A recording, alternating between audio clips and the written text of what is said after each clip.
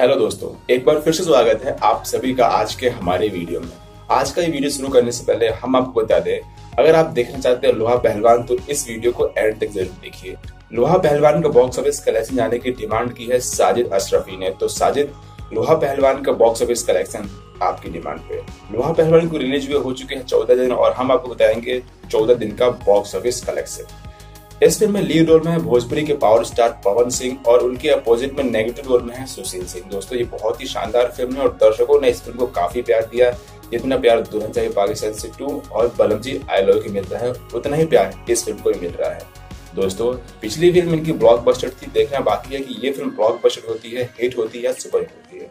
तो बात करते हैं इसी फ़िल्म के बॉक्स ऑफ़िस कलेक्शन के बारे में। तो फ़िल्म ने अपने डे वन पे 21 लाख रुपए की कमाई की। फ़िल्म का first weekend collection 57 lakh rupees था। फ़िल्म का फ़र्स्ट वीक कलेक्शन 1.29 करोड़ था।